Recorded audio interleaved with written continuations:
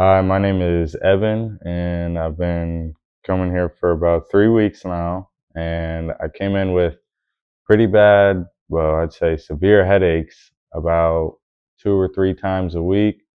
And since my first visit, I can't remember the last time I had a headache. And I about fell asleep in the chair in there just a minute ago. I'm feeling real loose now, so everything's been great.